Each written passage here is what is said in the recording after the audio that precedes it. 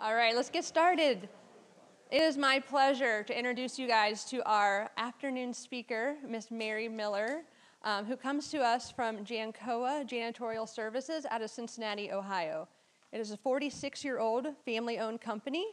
Um, with 500 full time employees, Mary has figured out a unique way to solve her people problems, um, and the success has been resounding. Many of you know the story, her story from the best-selling book, The Dream Manager. Along with being a CEO, Mary is also a coach and um, a, a, speaker and an author. It is my pleasure to have her here today. Um, my, my, favorite thing about Mary is her joyful spirit. She's simply contagious, and a, it will be an honor to hear from her today. Please welcome Mary. Thank you. Appreciate it. Good afternoon. One of the things that I did not know when Nicole and I talked about my speaking and being the wrap up keynote for the afternoon, that I would follow a whole workshop about the best way to tell stories. How many of you attended a storytelling thing today? All right, no pressure. okay, so my, it'll be interesting to see what the feedback is at the end about the storytelling, right? I love the opportunity to tell stories. And people are frequently surprised by my story here and there. And most of the time, they're really surprised at the thought that they can learn something from a janitor. Did that enter your mind? Yeah, it's crazy. But Sarah mentioned some of the titles I have, and like you, we're busy. We have lots of different roles, right?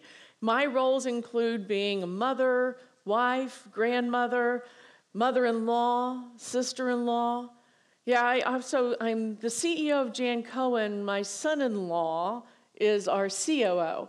So it creates a lot of interesting conversations. And our daughter is business development.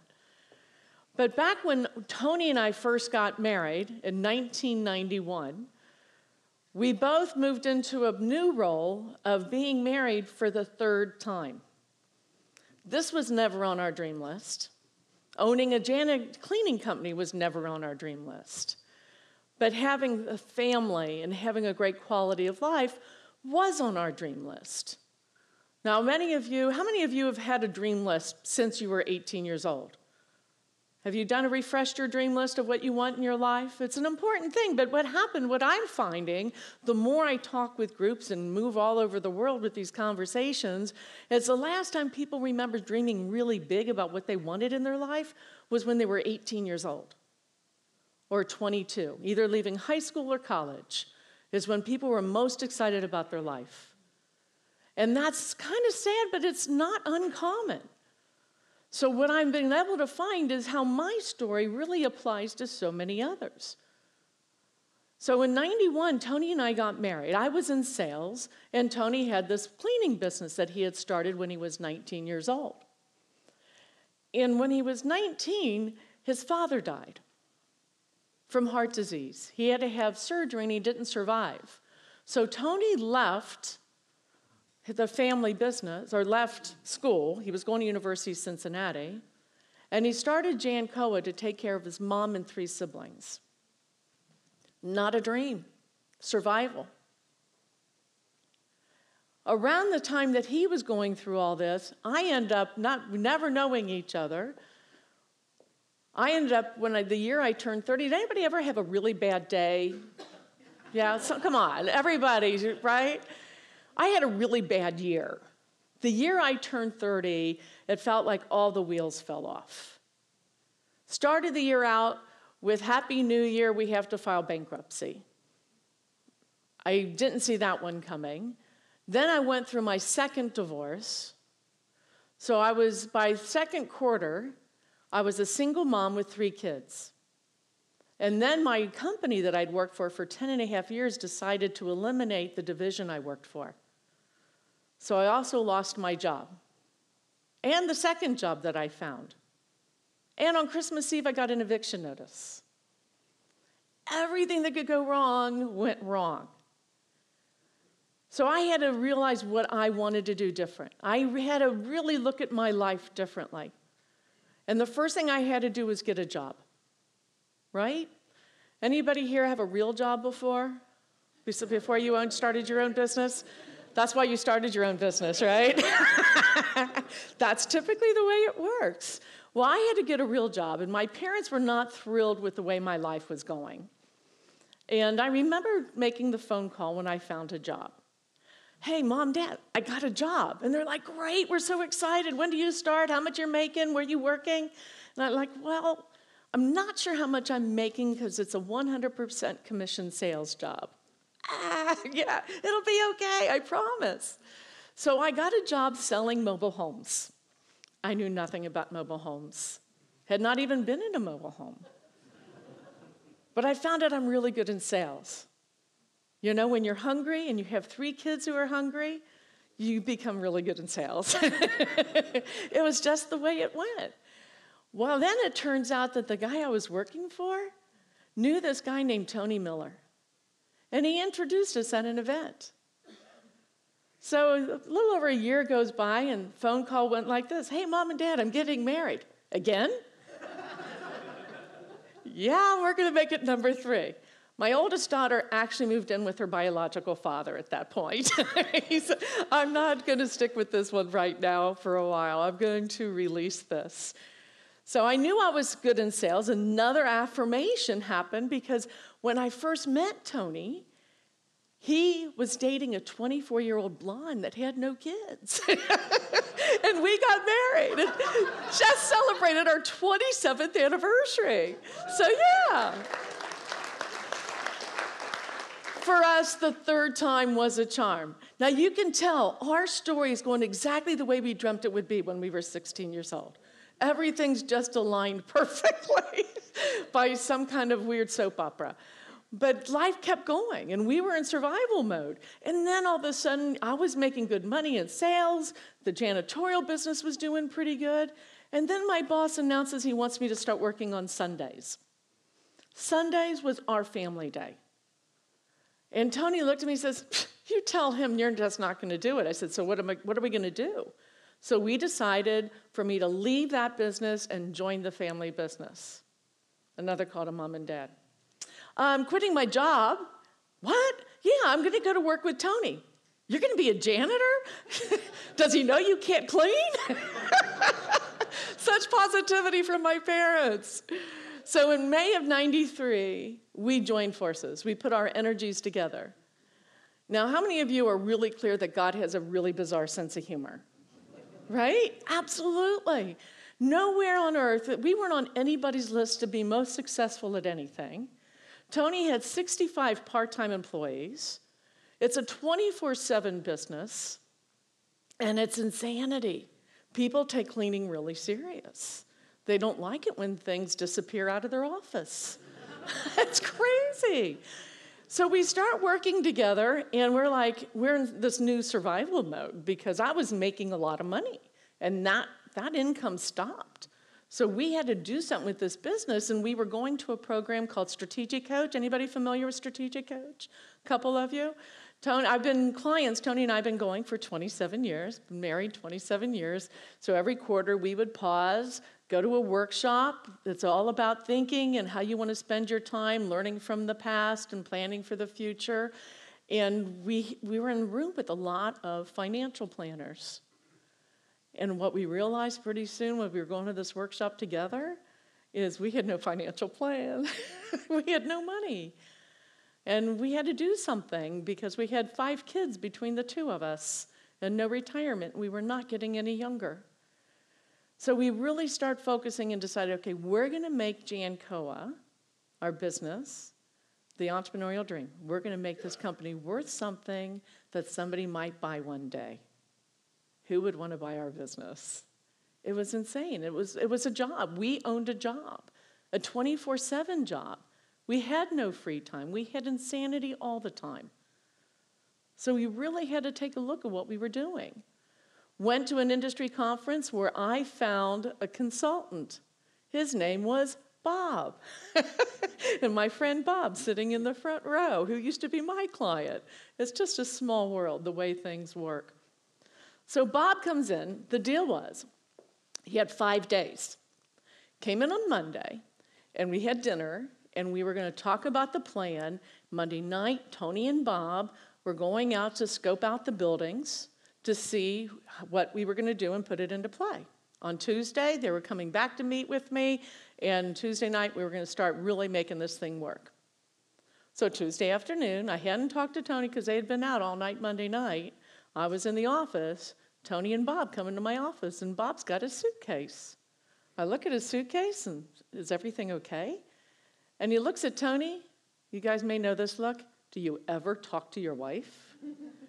and he looks back at me and he says, Mary, there's nothing I can do to help you. You're fired. Have you ever been fired by a consultant?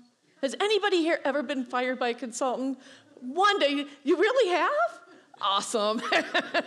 I feel much better now. because I was just in shell shock. I couldn't believe he could get fired. We wrote the check to him. He says the check will be in the mail, the refund. So he left, and we had to finish that week. And on Saturday, we went to every bookstore in Cincinnati to find books on how to find people, how to keep people. And I kept hearing Barbra Streisand singing in my ears People who need people are the luckiest people in the world. I wasn't feeling so lucky, though. It was a mess. We had to do something. We had 65 people plus our families that depended on us to eat. So we really had to do something. So by Monday morning, we figured out the top things we start asking different questions. That was the number one thing is asking different questions and the number one question is our best people we have what do they look like? Because see what bob had told us it was the problem we had isn't that our people were a problem but we didn't have enough people. That monday night tony and bob spent the whole night vacuuming. Bob said i'm probably the most expensive vacuumer you've ever had. And i said or ever will have i hope it was a mess. So we realized one of the things that our top 10 employees had in common was consistent travel transportation issues. We were constantly shuffling and driving people around to get them to different buildings to get the buildings cleaned by 6 a.m. So Monday morning, again, Tony started our business at 19. He's an entrepreneur, off the cuff, gets an idea, goes and does it. So he goes and buys a 15 passenger van, goes to a sign painting store and has it painted Jancoa Employee Shuttle, drives it to the office and tells our general manager at the time, I figured out how to fix our problem. And she's sitting at her desk and she crosses her arm and she says, Which problem? like that was our only one, right? and Tony says, Our people problem. Look out your window. We're going to pick people up from their home, take them to work, and take them home afterwards. She hadn't uncrossed her arms. She says, and who's going to drive this magic bus? I don't have enough people to clean tonight, let alone driving people around all night. Our people, we had already switched to full time. They were working 6 p.m. to 2:30 a.m. We already were offering health insurance. We already went to full time versus part time. We were doing everything we could think of to attract the great people to work for us. There used to be 104 other cleaning companies. And you know how I know that? There was this book, it was called the Yellow Pages. and you can count all your competitors, right? Doesn't exist anymore. So we really started figuring out what we were going to do, and Tony decided he's going to be the driver until we found somebody else. And so for two weeks, Tony was the driver of the shuttle. It took two days for him to become invisible. He wasn't the owner of the business. The employees getting on and off the shuttle just saw somebody was taking them to where they needed to be. And the gift in that was Tony start seeing where they lived. He started hearing them talking about their obstacles. He would come home at 3 3:45 in the morning or so and he has this horrible rule if I can't sleep you can't sleep. Not a good one. And he'd wake me up and tell me about what he saw, about what he heard, and what was going on. And our hearts broke. We were so busy in our own survival of trying to figure out how we were going to take care of our blended family of five kids, how we were going to pay our bills, that we weren't even thinking about our employees. You know, Bob hit the nail on the head. We had a people problem but it was because of the way we were dealing with our people. So we start doing things differently. We start going to agencies. You know, in this community, in every community in this country, there's so many agencies that have programs that will help people improve their quality of life. Whether it's through financial literacy or speaking English or budgeting or buying a home, we helped like 30 families buy homes. Many of them were first generation homeowners. Somebody told us, a friend from Atlanta told us one day, you know what you guys are doing is helping people have their dreams come true. So we changed our name. This is really, you guys as entrepreneurs, you'll get this. Our name of our program originally was the Incredible Employee Retention Program. Catchy? Yeah. we moved that to the Dream Engineer.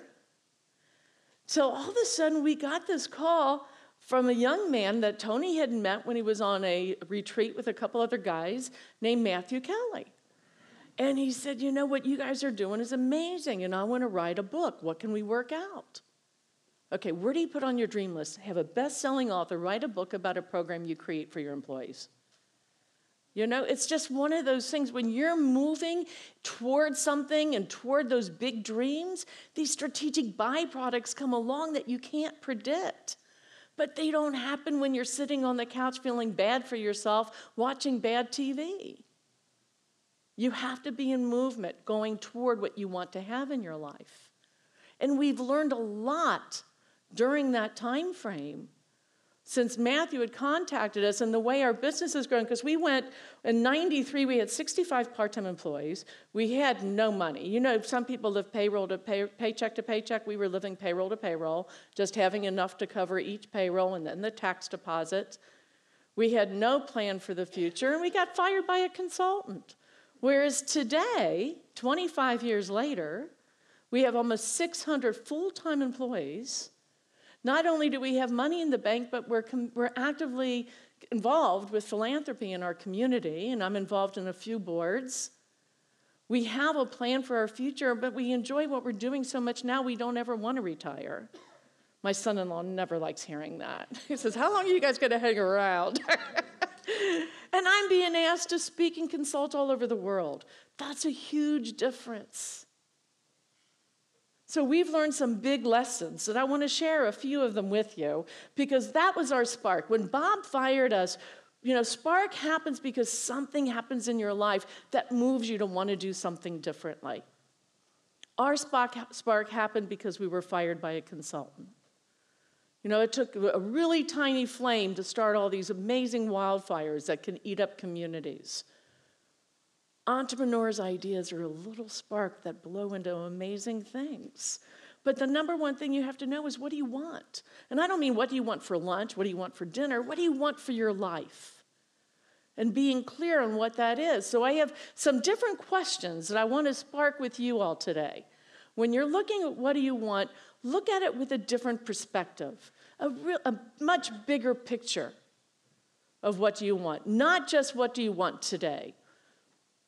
But if it were three years from now, put yourself forward. If it was three years from now, so it's already 2021, and you're looking back over the last three years, what has to happen for you to be really happy with your progress, personal and professional? We are one person with one life. We have to stop compartmentalizing so much that we don't enjoy and see how everything connects. Because we all know when you have a bad day at the office, the home feels it. And when things aren't going well at home, you're not as productive at work. Everything is connected. So start with getting really clear about what you want as if it's already three years from now. And set an appointment with yourself within the next three days. Find a time to sit for 30 minutes at a coffee shop or something and just start writing all the things that come to mind. And don't think about how or what, but just what do you want? We need to start dreaming like we were 18. At 18, you didn't care how much something cost. You didn't critique or analyze if it was possible. You just wrote it down and told people you were going to do it. Now, as entrepreneurs, we always have people looking at us like we have three heads. So, what's the difference? You just take the time. This is about you. If you don't take care of yourself, nothing else is going to matter because that's the trick. Until Tony and I start taking care of ourselves and seeing things differently, nothing else was going to change.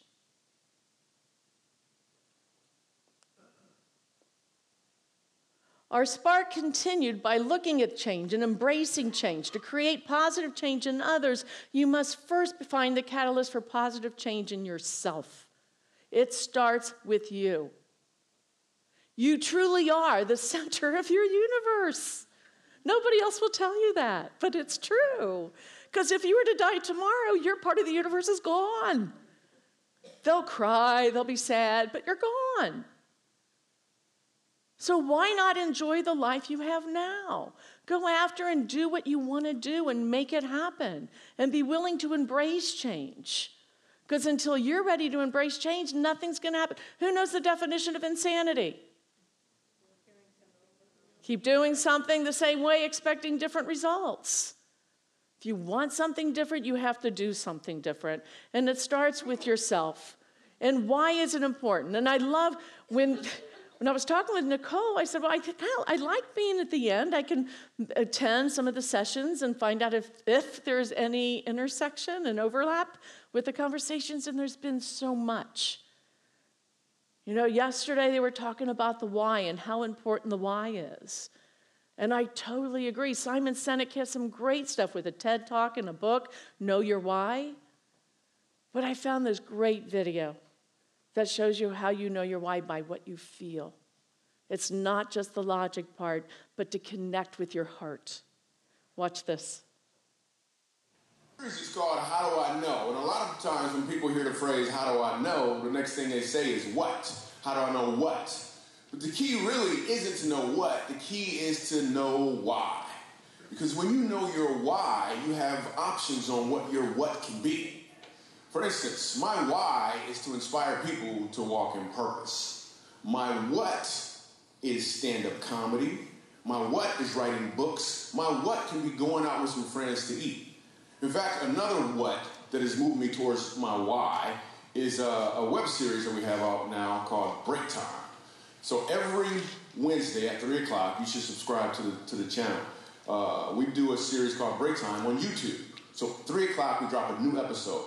One episode in particular, I'm about to show you a clip to. We were in uh, we were in Winston Salem. So break time. This is how it works. I travel the country. I do stand up comedy, probably an hour, hour and a half at an event. And in the middle of my show, I'll just sit down and start talking to the audience, and funny just happens. Or I'll meet somebody who's really interesting. So I met this one guy, and he said that he teaches music at a school. I was like, all right, you teach music, you know, um, can you sing? And then uh, I'm just going to show you the clip. Check it. So you're a musical director. Yes, sir. All right, so um, let me get a couple. Let me get a couple bars of like uh, "Amazing Grace." Can you do the first part of that? Go ahead. Amazing grace, how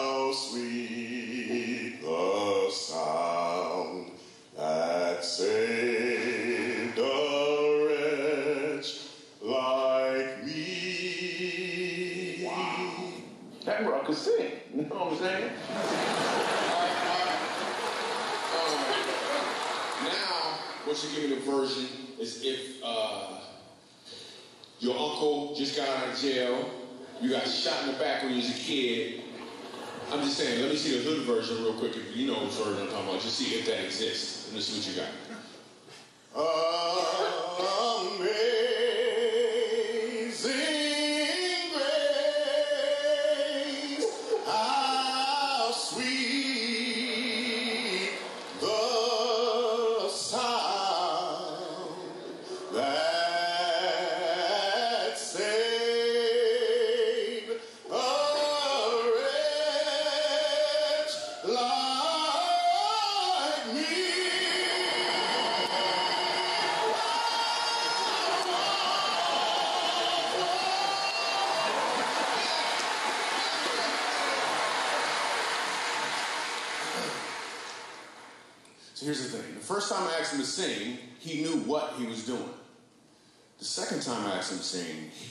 why he was doing it. when you know your why, your what has more impact because you're walking in or towards your purpose. Purpose. We've heard about purpose this week too. Your why should drive your passion in your business and personal life. Why do we do anything in life? When I start working with Tony, we were about cleaning toilets and mopping floors.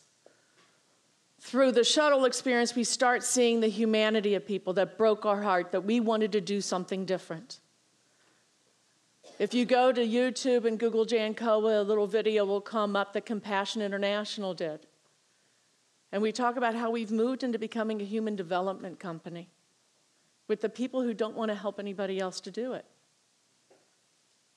People don't want things done for them. They want to lift up, they want an opportunity to improve their quality of life, including Tony and I. You know, we all need a hand up from time to time. But we can't expect other people to help us if we don't know what we want and why it's important and be willing to embrace change. It makes a difference. And as we go around the spark and see how we do things in our life, our thinking, which I love the model yesterday, where there's a stimulus and it goes through this funnel, there's so many things that affect our thinking. We cannot control what enters our brain and what causes us to come up with different thoughts, but we are 100% in charge of what we do with those thoughts. We have six inches between the ears, six inches that can ruin us or make us amazing and brilliant. You know, it's very not easy. There's no easy button, but it's simple when you start being aware and start looking and paying attention that you can redirect your thinking. You don't have to feed the negativity, you can choose to do it differently. When you redirect your thinking, amazing things start changing. And then when you change your thoughts, you change the world. And it really does start with your thinking. If we didn't start changing our thinking, if we still stayed focused on toilets and floors, we would be like any other cleaning company. The contracts we get today, the conversations we have, when I meet with CEOs and companies that we do business with, we spend 0% time talking about the cleaning. It's about the people. Our people that want to work for us want to have an opportunity. We had an amazing experience recently. Tony and I went to an outreach training in Cincinnati to do work in prisons. And a young man, there's about 40 people in the room, and a young man at our table said, You guys look really familiar. So we introduced ourselves, and he said, I used to work for you. And I'm like, What? He says, Yeah, I'm from Nigeria. And you are, Jancoa was my first job in the United States. In my country, things were so bad, and I loved my career though. I was in IT. So working for Jancoa allowed me to have money to pay my bills, to eat, and the time to go to class to get the certifications I need so I could get back into the IT industry. And that's what he's doing now. And he still remains friends with people that he met while working at Jancoa. When we decide to get out of our way and focus on, I mean, we all know we have to create value for, for customers, right? Why would they pay for us if we don't create value for them? Well, where's that scale of justice? We need to be able to take care of our team members too. Just because you gave them a paycheck, I mean, our customers pay us, they expect more than just the standard. So do our employees. It works both ways. So we're always working on trying to find ways to keep that balance, the scales of balance, to be able to create value for both sides.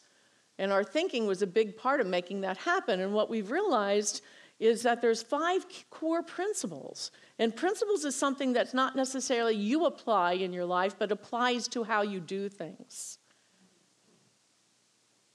And the Dream Manager by Matthew Kelly, written about what we created, this is it's a great program, but it's what it's done is it's evolved into this culture of caring.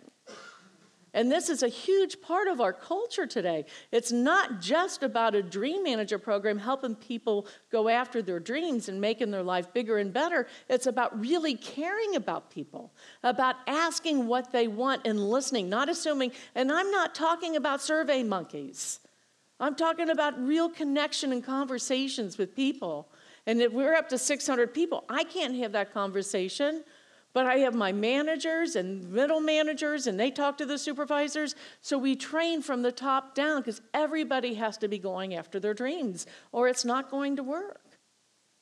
If a CEO, I had a person call me a couple weeks ago in Montana. Yeah, my CEO read this book and they told me they want me to put this program in place. What do we do? I said, Is your CEO working on his dreams? She says, I have no idea.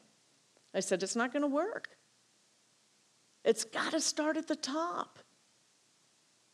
I think Clay Mathile is probably the biggest dreamer I've ever met. I mean, look at this place and the difference it's making in so many lives. And he didn't wait for somebody to tell him what to do and how to do it. You have to be clear what's important and be willing to ask, care about people, ask them what they want, listen. The conversation session, or how many went to the conversation session today? It was powerful and so true. Listen, what I tell people is listen with your ears and your heart wide open. Not judgmental, not trying to figure out how to do anything, but just listen. Acknowledge what you heard and encourage people. Our jobs is not to make other people's dreams come true, but to encourage them to go after their dreams by creating an environment of possibility. And we're always doing that in everything we do, in every event we do. And creating a sense of community as entrepreneurs. The Aileron's an amazing community of support and encouragement. And I hope you all have that on a regular basis in some part of your home. Maybe it's on a round table, maybe it's a mastermind group you're part of. But also for your team members, that they have that sense of community. Everybody wants to be part of something. We are drowning in connections, but starving for community. You know, it's so easy to make connections. How many connections do you have on LinkedIn? Huh? My daughter said I'd never make a 100 on Facebook. I've gone beyond that a few. You know, it, it's crazy, but the sense of real connection and community, that's what feeds our spirit. And our spirits need to be fed regularly. It's an important part of who we are. And nothing changes until you do something different.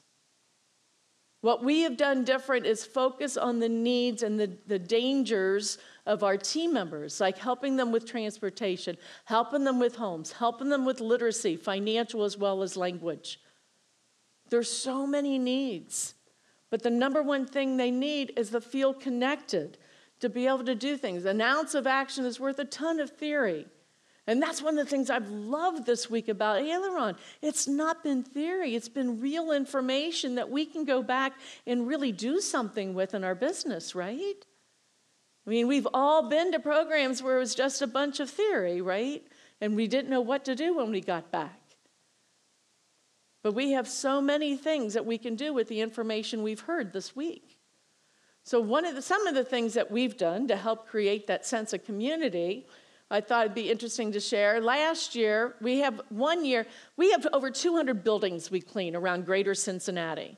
So that's 600 employees, that's just in the greater Cincinnati area and 98% of them are still full time. So once a year, we have an event that we try to bring everybody together and invite them to bring their immediate family. So last year it was FC Cincinnati game. They we thought they told us it was a whiteout game. So instead of blue or orange shirts, we all had white shirts with the blue and orange and Jan Jancoa plastered on the back. It wasn't a whiteout game, so we were the only ones there with white shirts. my phone started blowing up because everybody could really see us. What's going on? It was crazy. But look at all those white shirts there in the crowd. Those are all Jan Jancoa people and their families that were going. And one of our team members' son was actually a ball boy. We do, uh, this year we were at the zoo and we give different door prizes that they could do, and we had face painting. We had, uh, this group was at the FC Cincinnati game. They were really into it. FC Cincinnati's done amazing things. We do a back to school bash to help our kids, our employees' kids, to get excited about education. Education's what changes things. But we have low income, entry level employees. They don't understand education, and people from 40 countries have worked for us. So we try to really encourage that. And we give, all these kids are in line to be able to fill these blue bags with free back to school supplies. And we brought Kona ice and we had face paint, we were grilling out.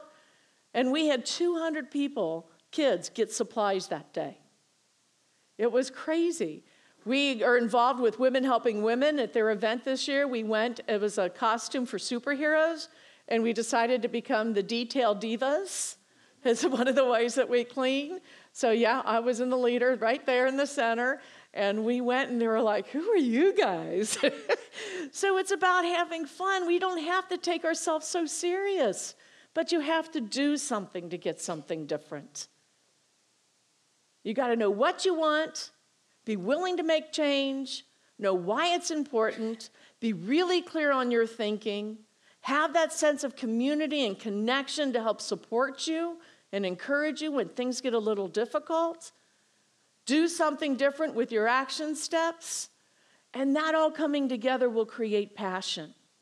I believe everything in me that we're all born with dreams and talents and gifts to achieve that dream, those dreams, and the adventure of life is bringing those pieces together. And as they come together, you can feel passion coming alive.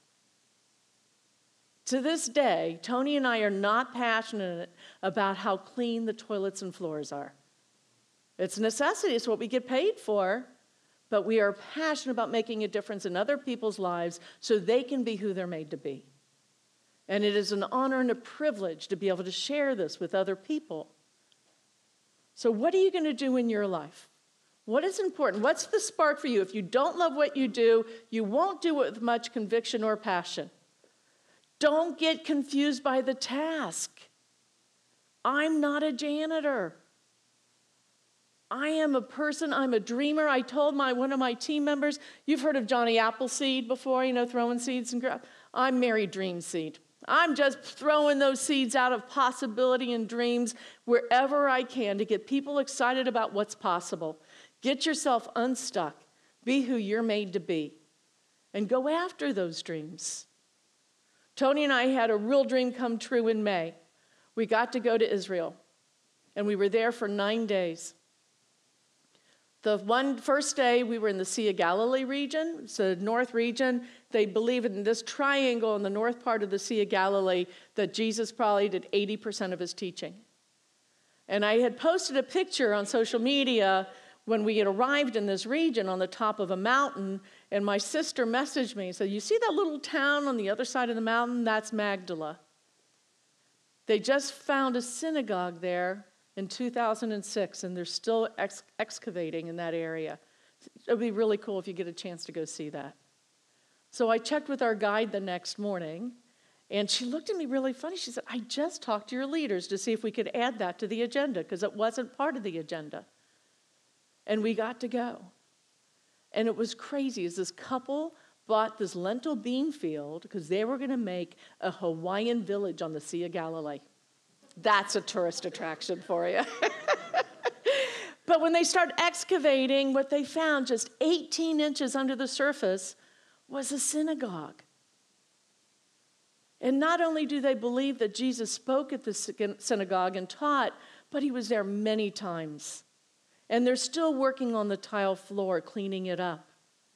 It was over 2,000 years worth of earthquakes and mudslides that had covered it up. And I felt I have this friend that's always saying to me, So, what is God t- telling you? What's He saying to you? And I heard it really clear that day.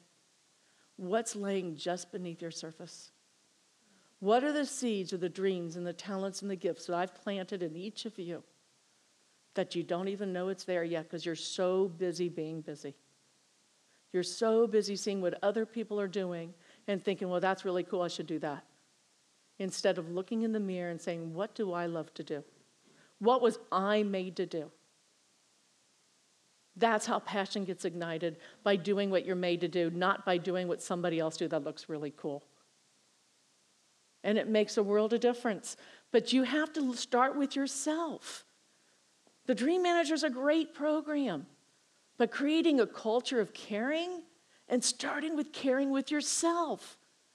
How much self care, another topic that came up this week, how much self care do you really do?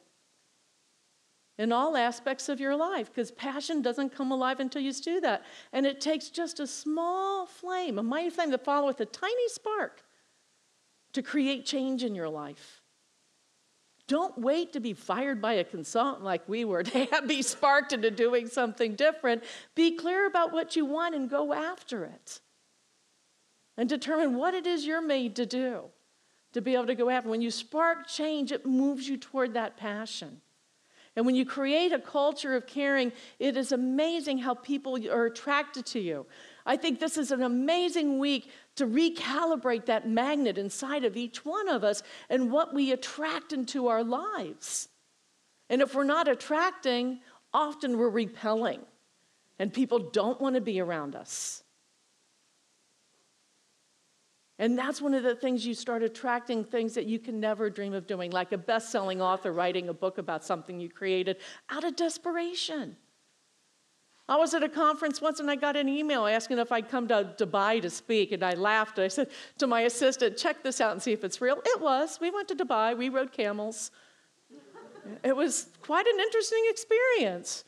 But you have to start with yourself. Know your score. On page 86 in your book, there's a scorecard with eight mindsets and a scale of 1 to 12, where you could take the time to determine where are you today? Where do you want to be in these eight different mindsets? Because it starts with our thinking. And the number one place you have to start is be willing to do things differently. And when you do, you will see a difference in your life. It will make a difference. When you let your own light shine, you unconsciously give the uh, permission for others to do the same. You all have a light within you. You all have dreams and gifts and talents to make these things happen in your life. So, what do you have to start doing to make that happen? To get you really excited. So, if we were meeting here three years from today in 2021, what has to have happened for you to be happy with your progress? And achieving your big dreams. Thank you very much.